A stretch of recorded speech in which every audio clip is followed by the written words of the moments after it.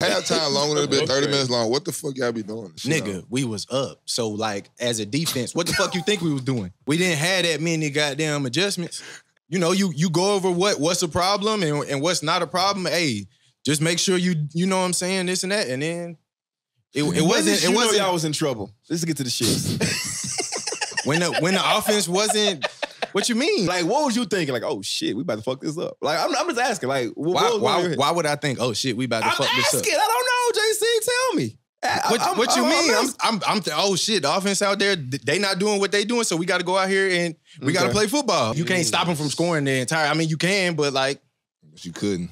yeah, exactly. You know what I'm saying? We That nigga Tom Brady said, hold my beer.